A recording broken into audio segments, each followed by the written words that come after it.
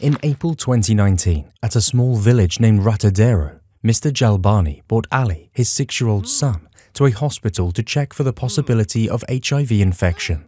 The father did this after he saw his local pediatrician rummage through the trash for syringes. The pediatrician then used the second-hand syringe to treat the boy, despite his father's protest.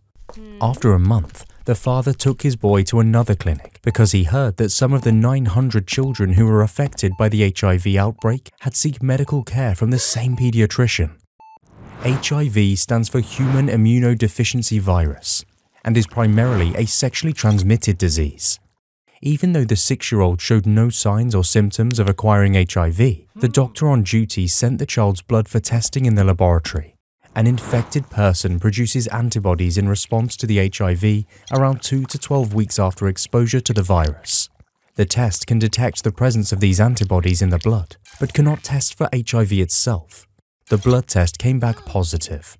HIV destroys the body's immune system and causes AIDS.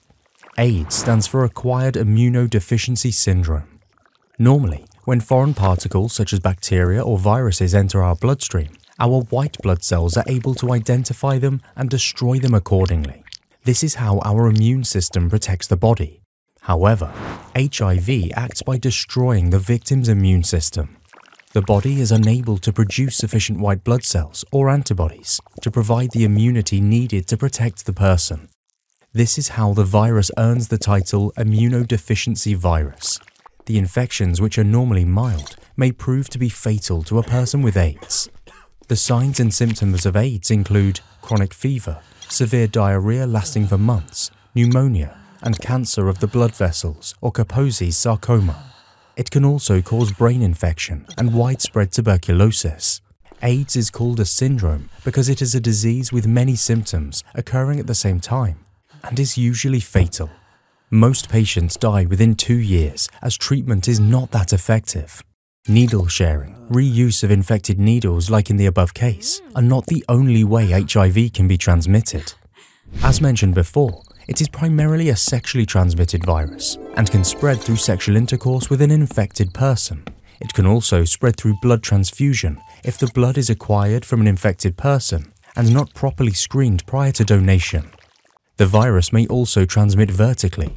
During pregnancy, the virus may pass from the infected mother to her fetus. In this case, the child will be born with the disease there are drugs available that restrict the attachment of HIV with the host cell or stop it from replicating in the host cell.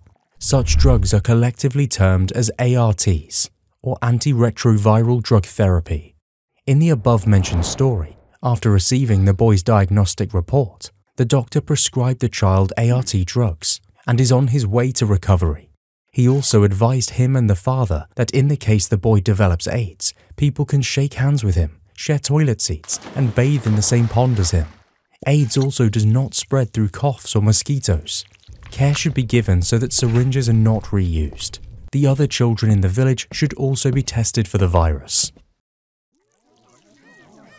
Thank you for your continuous support, especially our valued patrons and members who have been encouraging us to keep producing more quality content.